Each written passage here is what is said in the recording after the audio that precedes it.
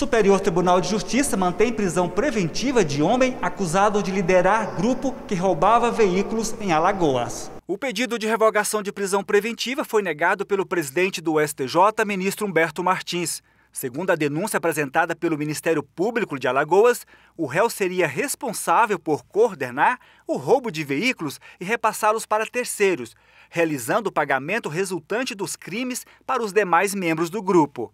O homem é apontado como um dos líderes de uma organização criminosa voltada para o tráfico de drogas e roubo de veículos em Maceió. O Tribunal de Justiça de Alagoas decretou a prisão preventiva em maio de 2021 sob o argumento de que isso era necessário para a preservação da ordem pública. Após o Tribunal Estadual ter negado o pedido de habeas corpus, a defesa recorreu ao STJ, alegando falta de fundamentação do decreto de prisão preventiva e pediu a substituição da medida por outros cautelares menos graves.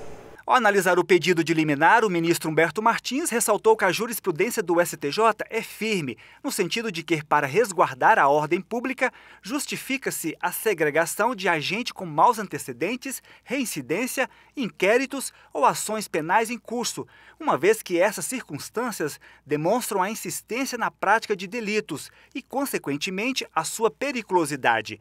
O presidente do STJ afirmou que, no caso específico, não há ilegalidade capaz de justificar justificar o deferimento da liminar durante o plantão judiciário. Após o parecer do Ministério Público, o mérito do habeas corpus será julgado pela sexta turma.